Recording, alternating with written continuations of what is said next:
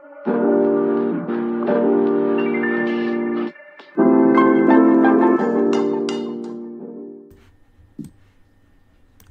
everyone, it's technology expert Burton Kelso here with another tech tip to help you get the most out of the technology in your life. Today we're talking about DALL-E and how you can create AI images using DALL-E. Now to give you a brief history about it was created by and released by OpenAI back in 2021. So actually it's been around a little bit longer than ChatGPT. But the whole purpose with DALL-E is to be able to create AI images realistically that you can use from a description using natural language. In the past, AI programs needed machine language in order to generate images. Uh, for example, if you can think back for a time of the old WordPerfect days where you had to try to kind of use machine language, same thing with DOS and other programs before, there was natural, or not natural, but graphical user interfaces. But DALL-E, like most forms of AI now, use natural language in order for us to be able to interpret to machines what it is that we want to see. Now, getting the DALL-E is pretty darn simple. Just go to openai.com forward slash doll slash e slash 2 because it's actually the second version of DALL-E that's out. Now, when you go to the main site, you can do two options. You can read a little bit more about DALL-E and some of the images that uh, have been released and some of the releases with it. There's an output right there of an astronaut riding a horse in a photorealistic style. But if you wanted to try it yourself, let's scroll back up and click on DALL-E or try DALL-E and it'll bring us up to our page. Now for you to get into DALL-E, you would need to set up an account via email or from your Google or Microsoft account to be able to log in and take advantage of these AI images. But once you're in at the main website, it's pretty easy. I won't say it's self-explanatory because there's a way that you have to be able to create your images. Now, going to the main screen, you can have two options. Number one, if you're just playing around to get an idea about AI, you can click on Surprise Me. So if we click on Surprise Me, it will throw out a prompt or natural language of what's going to be generated.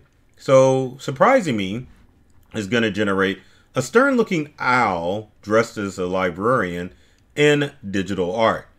Oh, and if I click on generate, what it will do is it will take a few seconds, gives you a tip every time you generate images, and you, after we're done, and it seems like we need to have a little timer. There are four images that DALL-E normally throws up that you can um, work with. Now there's several options once you get an image done. You can click on the dots, you can download the image. If it's inappropriate, you can report the image. Uh, you also can generate variations of the image, edit the image, and open up in a new web tab. If we click on edit image, we can go through and we can do different things with our image. We can use the eraser tool, which let's say we want to erase some of that out and maybe get the owl. Um, you can also go back and get back to your original image. It says leaving this page will discard any changes. Do you want to? Yes, we do. Um, but as you can see, you can do many things with your AI tool in the form of DALL-E. Now, many of you may be more familiar with other digital AI tools, but this one, DALL-E, seems to be probably one of the easier ones to use. Now, unfortunately, with AI tools such as DALL-E, you aren't able to, um, well, I guess you can use it free for a little bit, but you're limited on how many images you can generate a month until you pay, purchase DALL-E and use the paid version of DALL-E. But it's a very powerful tool, works pretty quick, and you can use it for a variety of things. Now, let's generate our own AI image. So we're going to go back to DALL-E. You don't always have to go to the Surprise Me. You can also type in your own image, or you can do a combination of Surprise Me, a cat submarine, Chimera, I believe that's right, digital art. or you could do a dog submarine. But anyway, it gives you an idea of what kinds of things that you can do. Now, one of the things that you can do is type in your own image. So I'm going to go a uh, picture, and here's one of the key things. 3D picture of Batman fighting the Joker in Gotham City. I forget how to spell Gotham. Anyway, we'll just, it'll, and one of the things I want to show is it'll interpret from your words. Uh, in the rain on a roof top. So we're going to hit generate and give it a few seconds. Always look at the tips because it can um, help you get your prompts better.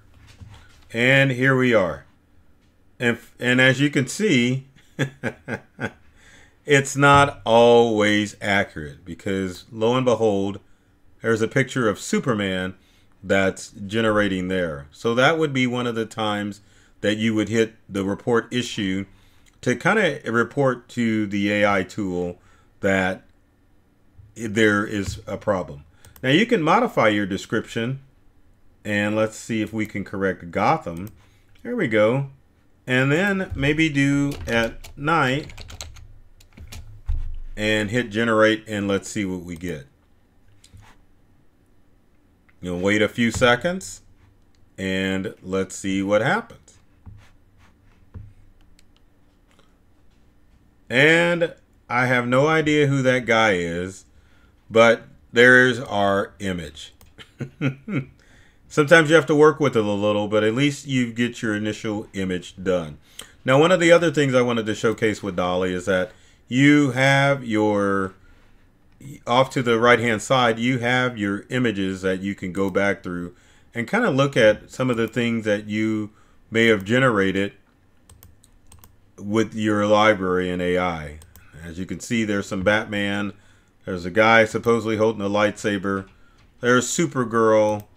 But anyway, you can kind of see some of the images that I've messed around with. There's an alien riding a bicycle. And then, um, but there you have it. But other things that you might want to consider that you could use DALL-E for are things such as social media posts. Now, if you are thinking of creating content for your social media channels, you can definitely use DALL-E to create content for your social media. Good thing about it is that you can say or ask opinions about the images that you've generated with DALL-E just to kind of give people an idea of what images you your imagination has created in DALL-E. And that's a good thing because some of the images and some of the prompts that people use makes for good social media followers. So if you're looking for content for social media as far as using it for business, go to DALL-E and generate some images and download them and share them to social media. Be sure to give credit to DALL-E when you do it, however. Other things that you can take in consideration too that you could use DALL-E is that you can create banners for both LinkedIn and other social media platforms that you can use. I don't know if this is necessarily an AI generated image, but this gives you an example of some of the banners that you can make uh, using DALL-E in order to create for your website or from your social media pages that you can use. And speaking of websites, that's the next thing. You need graphics for your website? Use DALL-E. Go there, put in your content, and it will generate an image for you. Now, the good thing about natural language AI is it, you don't necessarily have to use the content that's being generated, but you can definitely use natural language AI tools such as DALL-E in order to help you formulate a foundation to some of the graphical ideas that you might want to lay out. If another tool that you can use, and we may do a video on that, is Canva. Also allows you to generate AI content. Uh, but again, if you do it in DALL-E, you can definitely use that foundation and then go to a tool like Canva or any other desktop publishing software. Is there such thing? Well, actually, graphic software that will allow you to generate content. Uh, speaking of other content, what about if you use DALL-E to create a logo for your company? Not necessarily like these here, but if you were brainstorming on a logo, before you took it to a graphic designer, you could definitely go to DALL-E and brainstorm on different logo ideas that you could create uh, for your business. Now, keep in mind with all forms of AI currently right now, shouldn't say all forms, but at least with ChatGPT and with DALL-E and other AI tools, you really have to be careful of the copyright laws that are concerning those AI images. You might want to consult with DALL-E to find out what images you could use if, if you have to give them credit or if you can just take it as your own because there is a such thing as a Creative Commons license that you can use in order to generate content from AI and use it as your or use it but not as your own but obviously giving credit to whoever the author may be. So check that out before you start using those images for business. But again, if you're just playing it around um, and just want to post it on social or just see what images you can generate, by all means, make sure that you do it.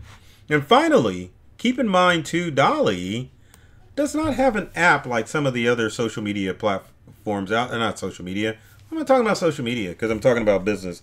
But it doesn't have a app for the DALL-E website like other forms of AI do. So keep that in mind when you're using DALL-E. Now you can use DALL-E through a browser on your smartphone or tablet if you want to go mobile with it. But there is no app for DALL-E to download, only ChatGPT, and that's only for the iPhone. So make sure that you beware of some of the bogus apps that are out there in the form of fleeceware that say that they are a particular AI app, but they're fleecing you out of money because most forms currently of ChatGPT and DALL-E, there is no or a very minimum cost to use that software. So ho- there you have it. So I hope you learned a little bit about DALL-E and how you can use it in for personal use or for business use. And if you've got any questions, leave them in the comment section below. Love to hear from you to find out how I can help you with DALL-E. With um, I don't know why I popped that up there. I'm thinking I'm grabbing the wrong graphic, but that's the one that I wanted. so you got if you like the video, be sure to like it, comment, share with your friends who may need to have a little refresher of what DALL-E is and how it can help them. So my goal with these videos is to help you open yourself to a whole new world of ideas and experience with technology to help you accomplish your goals. I love technology. I've read all the manuals and I'm serious about making technology fun, safe, and easy to use for everyone so take care of yourself and do many things to make you smile. And thanks for watching.